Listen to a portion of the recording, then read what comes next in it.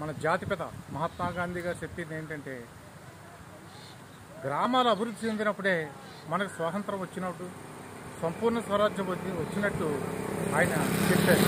మరి మరి భారతదేశంలోనే మన ఆంధ్రప్రదేశ్ తెలంగాణ రాష్ట్రంలోనే కాదు భారతదేశంలోనే అత్యంత సంపన్నమైన గ్రామం పోతుమరు గ్రామం. మరి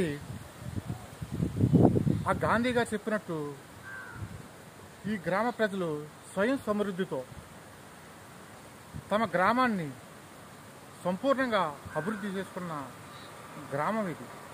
మరి మరి పంతొమ్మిది వందల ఎనభైలో ఇక్కడ ఉన్న ఉప్పుడేరు పల్లేరు పరిసర ప్రాంతాలకి చౌడు భూములు. తినటానికి ఆహారం లేదు పంట లేదు.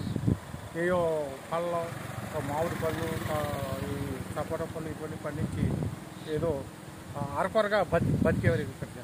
మరి ఈరోజు మన భారతదేశంలోనే మన ఆంధ్రప్రదేశ్ రాష్ట్రంలో అనేక మందికి ఉపాధి కల్పించిన ఊరు ఏదంటే ఈరోజు లక్ష రూపాయలు రెండు లక్షలు అక్రమకల్చర్ ద్వారా చెట్లు పొందుతున్నామంటే మరి దీనివల్లే మరి పంతొమ్మిది వందల ఎనభైలో ఇక్కడ ఉన్న చౌడు భూముల కారణంగా మన ఆంధ్రప్రదేశ్ రాష్ట్రానికి అక్వాకల్చర్ని పరిచయం చేసిన గ్రామం ఈ గ్రామం.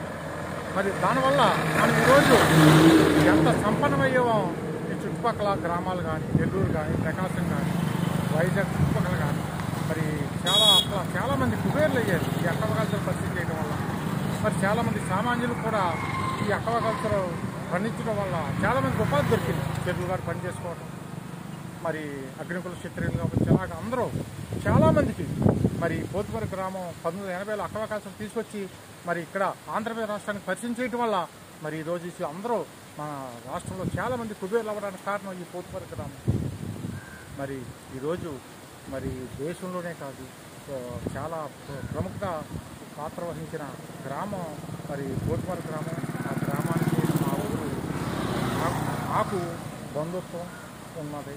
ఈరోజు ఇక్కడ పెళ్ళి ఒకటి ఉన్నది. ఈరోజు దాన్ని ఆదరవడానికి నేను ఆత్రిమల వచ్చాను మరి నేను కూడా చదువుకున్నప్పుడు రెండు మూడు సార్లు వచ్చాను మరి ఆ గ్రామ ప్రాముఖ్యతను గురించి నేను ఒక సోషల్ మీడియా కళాకారుడిగా ఇక్కడ తెలియజేయాలని చెప్పి అందరికీ తెలియజేస్తున్నాను. మరి గ్రామాలలాగే ప్రతి గ్రామం అభివృద్ధి చెందాలి. మరి మన ఆంధ్ర రాష్ట్రానికి అక్వాకల్చర్ పరిచయం చేసి అనేక మంది ఉపాధికి తోడ్పడిన ఈ గ్రామాన్ని గ్రామం భారతదేశ చరిత్రలో లిఖించబడి ఉంటుందని చెప్పి నేను తెలియజేస్తున్నాను. మరి ఈ గ్రామం వచ్చినందుకు నాకు చాలా ఆనందంగా ఉన్నది. నేను చదువుకున్నప్పుడు రెండు సార్లు వచ్చాను. మరి